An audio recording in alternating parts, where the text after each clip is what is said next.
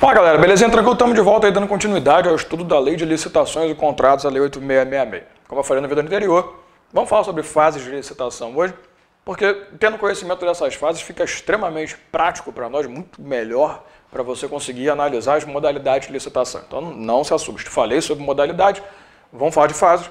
Vídeo que vem a gente começa a falar de concorrência e falar especificamente sobre as modalidades né, de forma detalhada. Veja bem, quando você vai realizar um procedimento licitatório, a primeira coisa que você faz é dividir o processo licitatório em dois momentos. A fase interna, que é quando você vai realizar todos os procedimentos inaugurais da licitação, e a fase externa, que é quando você joga para fora essa condição. Vamos por partes. O artigo 38 da Lei de Licitações, ele vai determinar para você a fase interna. Ele vai dizer para você o seguinte: o, a licitação ela inicia dentro da administração a partir do momento que você tem a instauração do processo administrativo licitatório. Se você fez comigo o curso da Lei 9784, a Lei do Processo Administrativo Federal, por exemplo, você deve ter lembrado que você deve lembrar que nós falamos que, pô, processo administrativo não necessariamente é só o disciplinar. Também é o processo licitatório. Então não se esqueça que licitação é um processo administrativo, pelo amor de Deus. Então olha só, tudo começa com a abertura e instauração do processo administrativo de licitação. O que, que esse processo precisa trazer? Primeiro, a autuação, a protocolação e a numeração do objeto licitatório. Então tem que estar lá, protocolado, bonitinho, autuado, tudo anotadinho, tudo escritinho e numerado. Número da licitação tal. Tem que estar tudo bonitinho porque fica mais prático, mais claro quando sair e também para transparência, né? Uma questão de transparência óbvia. Outra coisa, a autorização. Porque, óbvio, você vai pedir para realizar a licitação internamente, tem que vir uma autorização. Isso já é um procedimento natural. Prévio até a instauração do processo administrativo é o pedido de autorização para a realização da licitação. Então tem que estar lá, a autoridade competente assinou e permitiu que a licitação fosse iniciada, que o processo fosse instaurado. Outra coisa Indicação do objeto, claro, né? Também não é chegar e falar, ó, tá aqui, documento, tá autorizada a licitação, hein? Beleza? Tranquilo, mas vem cá, que licitação é essa? Não, tá autorizada, cala a boca. Eu pedi para ele autorizar uma licitação. Do que que é, eu não sei ainda, vamos ver. É que nem assinar um cheque em branco, né? O cara vai lá, coloca, assina aqui para mim, por favor, depois eu lanço o valor. Ah, mas quanto você vai gastar? Calma, lá depois eu descubro. É a mesma burrice. Licitação, oh, licitação. Administração, eu posso licitar? Pode, claro, fica à vontade. O que, que você vai fazer? Depois eu resolvo, isso não existe. Então o objeto tem que estar lá também na instauração. Vai estar lá uma portaria dizendo, ó, está aberto, tá não sei o quê, o objetivo é esse, blá blá blá. E tem que ter a comprovação de recursos próprios utilizados. Tem que estar lá. A despesa será custeada por nós e nós temos recursos voltados para isso. A tal boa e velha dotação orçamentária. Nós temos dinheiro para esta porra. Tranquilo? Então, internamente, abertura do processo administrativo. Não se esqueça que eu tenho esses quatro requisitos para que o processo seja instaurado corretamente. Foi instaurado, ponto final. A galera vai sentar e vai decidir como que a licitação vai acontecer. Já sabemos o objeto, sabemos que temos dinheiro tal. Vamos definir agora as regras do jogo. Né? E essas regras do jogo são tudo, tudo que a gente vai precisar. Quem é que vai poder participar? O que, que eu exijo de cada um? Portfólio de trabalho, experiência ou não? Tudo que eu vou estabelecer. Qual é o produto que eu quero? Quais são as especificações? Lembrando que eu não posso determinar marca. Beleza? Lembra que a gente falou sobre marca, existe exceção, mas não posso determinar marca, mas a especificidade, eu adoro essa palavra, as especificações que vão constar no instrumento convocatório. Porque a partir do momento que você definiu o início do processo e você jogou o instrumento convocatório para fora, você iniciou a fase externa. A fase externa é a fase em que todos de fora tomam conhecimento do processo licitatório e, óbvio, se interessam em participar ou não. Então, o que é a fase externa? É o momento em que sai do ponto administrativo para se tornar um algo de conhecimento geral. Então, veja bem, o que é um instrumento convocatório? O nome eu acho que já diz, né? Inclusive, você lembra que nós falamos lá em princípios sobre o princípio que você tem uma relação direta da licitação com o instrumento convocatório. Lembre-se disso, né? Nós estamos diretamente ligados, atrelados ao instrumento. Então, o instrumento convocatório é aquele documento oficial que traz todas as regras do jogo que não poderão ser alteradas, inclusive a minuta contratual, a minuta, o rascunho do contrato. Então, esse instrumento pode ser tanto um edital, na grande maioria das vezes é, ou um convite meramente, que é o edital convite ou convite, como alguns gostam de chamar. Entenda, Aqui está a regra do jogo, aqui está a ideia do contrato, a minuta contratual, por quê? Porque está tudo ali. Então, lembre-se, eu vou voltar a falar disso. Nós estamos diretamente ligados a um instrumento convocatório. Então, o que está no edital tem que ser cumprido lá no final, quando acabar a licitação para assinatura de contrato. Eu não posso lançar um edital e, no meio do caminho, alterar as regras. Então, quando o cara lança, quando a administração pública produz esse edital, amigo, é porque ela está muito certa do que ela quer. Porque tudo que está ali vai ser levado dali para frente como muito importante. Então, instrumento convocatório, o nome já diz, é um instrumento utilizado pela administração para convocar interessados externos, claro, para prestarem a sua participação no processo licitatório. Beleza. Aí você vai para o momento de habilitação. O que, que é a habilitação? A habilitação ela não ocorre em todos os processos licitatórios, mas a habilitação é quando exigido, nós vamos estudar isso daqui a pouco em relação às modalidades, quando exigido é o interessado se habilita, o interessado demonstra que ele tem condição de participar da licitação. A habilitação, ela vai trazer, por exemplo, requisitos jurídicos, requisitos de conhecimento, de experiência. Ele vai trazer requisitos econômicos, garantias de que você vai ter dinheiro para manter aquele contrato, para poder seguir, até porque você vai receber uma boa bolada, né? Mas já garantir que você tem dinheiro, que você tem condições econômicas para segurar aquele contrato junto à administração. Porque também não é, porra, você montar uma empresa para assinar um contrato e daquele dinheiro você vive. Aí pff, vai pra merda. Isso vai incluir também, né, além de todos os requisitos, requisitos fiscais, documentação de que você está em dia com seus impostos, fiscalmente falando, está tudo certo. Seu lado fiscal está perfeito, seu contador não está dando migué em ninguém. Então, a habilitação é a hora em que você chega e fala, ó, eu tenho capacidade disso. Porque no edital vai dizer, eu quero uma empresa que tenha cinco anos de experiência, que esteja tudo a ver com, com o, o sistema fiscal, regime fiscal em dia, tudo pago, todas as contribuições recolhidas. Amigão, quando você lê o edital, você. É igual concurso público. Você olha o concurso e está lá, exigências, né? requisitos. O cara tem que ter, por exemplo, nível superior na área de administração. Quem não tem vai olhar e falar, não estou habilitado a disputar esse concurso. É a mesma coisa. Então aqui na habilitação é a hora que as pessoas se ligam e falam, opa, aqui eu posso participar. Porque tudo que o edital prevê, a minha empresa, a minha instituição, ou eu, pessoa física, que aí é um caso muito raríssimo, né, da história, muito raríssimo, do verbo é muito raro, você vê que eu consegui evoluir o raríssimo para muito raríssimo. Você vai ter um caso em que você vai olhar e falar, putz, eu estou habilitado, vou participar desse processo licitatório. Tranquilo? Habilitou, você se habilitou, você vai fazer a apresentação das propostas. Outro princípio. Você lembra que nós temos aquele princípio do sigilo das propostas? Porque quando você se habilita, você vai pegar todos os documentos comprobatórios da sua habilitação e vai colocar numa proposta. Beleza?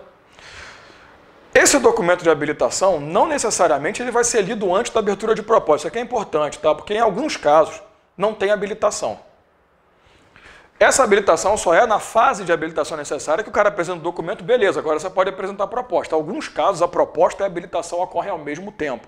Beleza? Então, entenda que, é, em alguns casos, a habilitação pode estar junto com o processo de classificação, ao mesmo tempo. Tá? Não necessariamente são etapas distintas.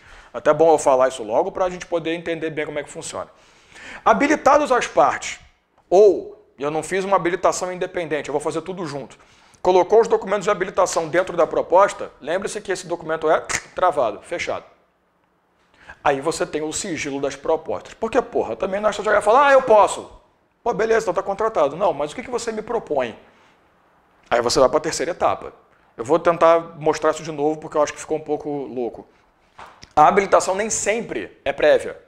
A habilitação pode acontecer ao mesmo tempo. Então, essa habilitação que eu falei de você, ou você vai passar por um, ah, eu posso participar, já vou levar as documentações para ver se eu posso, para depois apresentar a proposta, ou apresento a habilitação e proposta ao mesmo tempo. Beleza?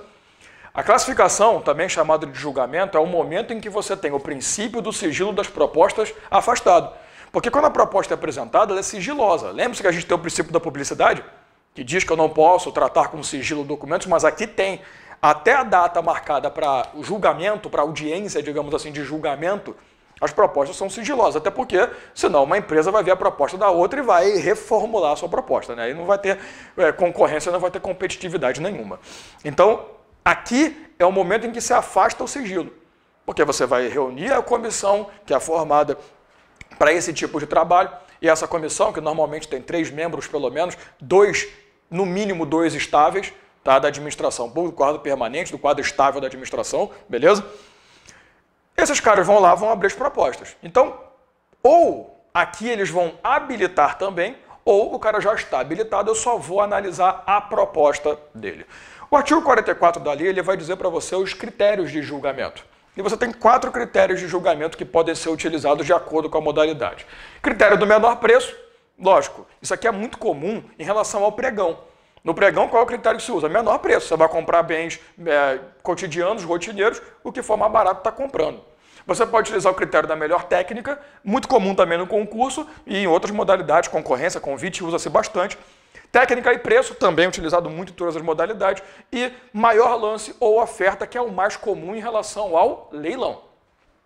Tá? Então, obviamente, nós também vamos trabalhar isso. Eu vou te mostrar o critério de julgamento de cada uma das modalidades, beleza? Essas são as quatro possibilidades. Eu posso julgar em cima desses quatro. De acordo com o processo licitatório, eu vou utilizar uma delas. Beleza? Tranquilo. Foi feita a classificação, o julgamento. É importante você lembrar o seguinte. Lá na habilitação, nós falamos no vídeo sobre dispensa, sobre a licitação fracassada. Lembre-se, só para aproveitar né, que eu já estava pulando isso. Artigo 48, parágrafo 3 da Lei de Licitações. Se por acaso nenhum interessado habilitar-se, eu estou falando isso agora porque também serve para classificação. Se a habilitação não foi prévia, foi ao mesmo tempo, ninguém se habilitou, você tem a chamada licitação fracassada, não é deserta. Deserta ninguém veio. Fracassada ninguém se habilitou.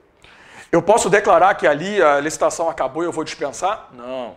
Lembre-se que nesse momento eu preciso dar um prazo de oito dias úteis para que esses interessados reformulem as suas documentações, apresentem as propostas adequadas e se habilitem a participar. Então, não havendo habilitados, eu tenho que abrir, abrir um prazo de oito dias úteis. É importante, eu vou colocar para você depois na tela, ou agora, ou no final do vídeo, um quadro com os prazos. Que, por exemplo, a ah, concorrência. Qual é o prazo para você realizar o procedimento? Do instrumento convocatório para é, o julgamento. Ah, 45 dias se for, pre... se for técnica, 45 dias se for técnica e preço, 30 dias se for preço. Então, para cada um tem 45, 30, 30, 15, para cada um tem com 25 dias úteis um prazo específico. Agora, quando você não tem habilitados, o prazo é para todo mundo mesmo, 8 dias úteis. Está aí na tela para você logo. Vamos jogar logo isso aí. No final do vídeo eu coloco de novo. 8 dias úteis, beleza?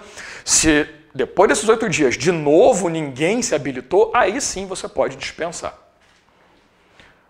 Outra coisa, e se por acaso eu tiver um habilitado? Vai embora. Só tem um, só um passou. Continua o processo. Porque você sabe que aqueles que foram desabilitados, eles têm direito de recorrer da sua desclassificação. Então, se você só habilitou um, analisou os recursos dos outros e ninguém realmente conseguiu te convencer, segue com esse cara só. Beleza? Tranquilo. Classificamos. A comissão fez o trabalho dela. A partir de agora que você classificou, que você colocou lá primeiro, segundo, terceiro lugar, jogou tudo bonitinho, viu quem ganhou, quem não ganhou, isso é enviado para a autoridade superior, autoridade competente. Essa autoridade competente, que não é a comissão, pelo amor de Deus, o TCU já deu até um acórdão sobre isso, lembre-se que a comissão ela tem que parar no trabalho dela, para aqui. A homologação é feita pela autoridade competente. A homologação é o momento em que é analisado o processo licitatório e se confirma que tudo seguiu a legislação, está tudo legal. Então, a autoridade competente homologar significa dar o aval de que o procedimento deu certo, foi correto. Então, pode ser que a homologação seja que não ocorra homologação, melhor dizendo, ocorra revogação do processo? Sim, se por acaso ocorrer, por interesse público, um fato superveniente. Vamos dizer que você está fazendo uma licitação que você vai gastar um valor X muito alto. Só que no meio desse procedimento licitatório, infelizmente, que lembre-se, né, gente? Atos administrativos, extensão de ato. Lembra lá. A revogação é só por critério de oportunidade e conveniência. Tem nada ilegal. Se está legal, a regra é homologar. Mas imagina, ao invés de você gastar aquele X, no meio do processo licitatório acontece uma catástrofe na cidade. Então, porra, aquele dinheiro que você ia gastar para adquirir, sei lá, ambulância nova, desculpa, usa as antigas e vamos gastar isso para reconstruir a cidade, porra. Então, isso seria um fato superveniente, comprovado, que demonstra que o interesse público quer que aquela licitação seja afastada para o dinheiro ser utilizado em outra coisa mais importante. Tá? Então, revogação, lembre-se, né? conveniência é oportunidade, não é ilegalidade. Agora, se tem ilegalidade, ele vai ser anulado. Então, o procedimento é, a autoridade recebe todo o processo. Ela vai analisar. Está tudo nos conforme, tudo perfeito? Homologa. Não está, anula, porque teve ilegalidade. Comprovada, claro, não preciso nem falar.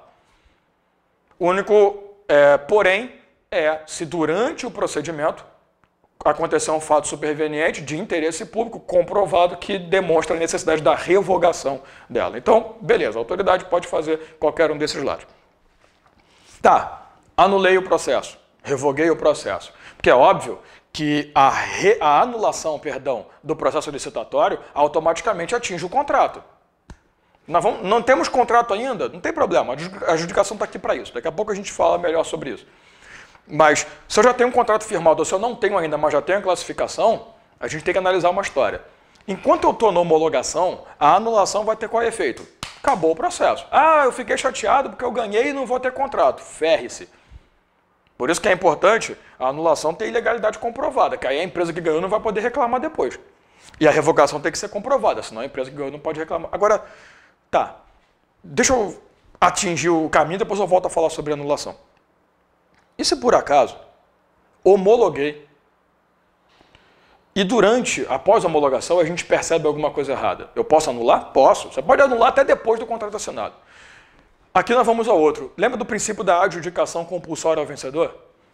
Quando você homologa, você confirma quem venceu de acordo com a classificação que foi dada. O que, que é a adjudicação? É quando você entrega o objeto ao vencedor efetivamente.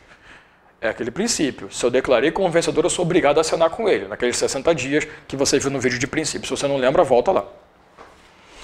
A adjudicação é o momento que você faz o contrato para começo do exercício da relação. Aí vamos voltar a falar sobre isso. Pode anular? Pode, se eu identificar ilegalidade futura. Pode revogar? Pode, se aparecer um fato superveniente. Gente, pensa comigo. A autoridade quem é que adjudica? A autoridade competente. Está aqui. A autoridade competente faz os dois. A mesma que homologa adjudica. É a que adjudica. Imagina que você descobre ilegalidade um ano depois do contrato assinado. Demorou, né? Posso anular? Posso. Eu vou anular o quê? O processo licitatório, desde a abertura até o final. Se eu estou anulando, lembre-se, a anulação tem efeito ex tunc, retroage, derruba todos os efeitos criados por ele. Eu estou acabando com o contrato também, então é óbvio. A anulação do processo licitatório anula automaticamente o contrato. Pergunta: eu tenho que indenizar? Eu você perceber se eu não, eu não utilizei a lei até agora, mas eu preciso te mostrar um parágrafo do artigo 59 que é muito importante, o, artigo, o parágrafo único do artigo 59. Esse eu quero ler com você. Está aí na sua tela. A nulidade não exonera a administração do dever de indenizar o contratado pelo que este houver executado até a data em que ela for declarada. Marca isso quem tiver com o material impresso em mãos. Pelo que este houver executado até a data em que ela for declarada e por outros prejuízos regularmente comprovados, contanto que não lhe seja imputável, promovendo-se a responsabilidade de quem lhe deu causa. O que significa isso? Você tem que observar duas coisas. Eu tenho que indenizar? Tenho. Ele diz que a anulação do contrato não exime a administração de indenização daquele que assinou o contrato e teve o contrato anulado, perdeu. Imagina, pô, tu assinou um contrato e de repente, contrato anulado? Sinistro. Primeira coisa, eu tenho que indenizar porque eu vou gerar prejuízo para o cara, mas se esse cara for o responsável, se foi a empresa a responsável pela anulação, imputa-se a ela a responsabilidade, aí eu não vou indenizar porra nenhuma.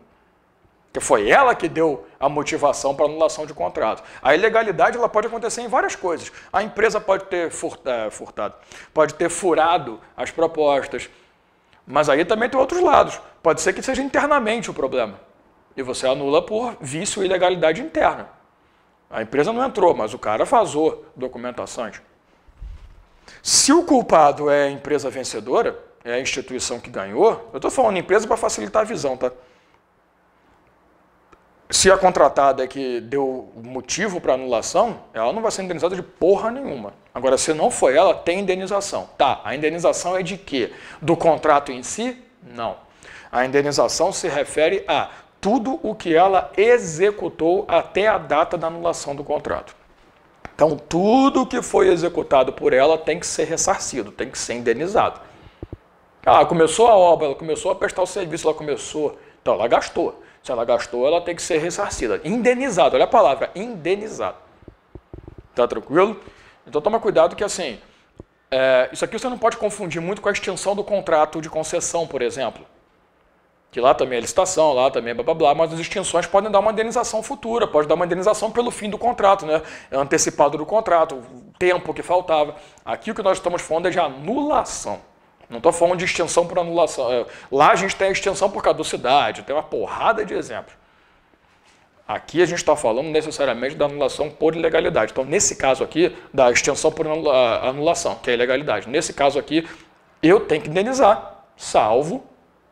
Eu tenho que indenizar o que ela já executou, salvo ela ser responsável pela ilegalidade acontecida. Fechou? Então, observa bem que é muito importante. Você vê que as fases são muito complementares, né? Você vai estudar comigo a partir de agora as modalidades, você vai ver nessas fases todas. Na habilitação, às vezes está dentro da classificação, às vezes é uma prévia. Concorrência, por exemplo, faz isso.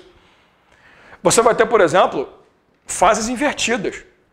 Então é muito importante você conhecer esses caras, que as etapas vão se inverter em alguns casos. Em um caso, para ser mais correto, mas tudo bem. Então vamos tomar cuidado com isso aqui. Entenda bem como funciona. Convoquei. Pessoal se demonstra capaz de participar. Apresenta as propostas, são classificados. A autoridade superior depois vai pegar esse movimento, vai homologar, vai confirmar. Homologou, eu assino o contrato, a adjudicação. Belezinha? Eu acho que agora nós estamos aptos sim a seguir e falar sobre modalidade. Tranquilo? Até o próximo.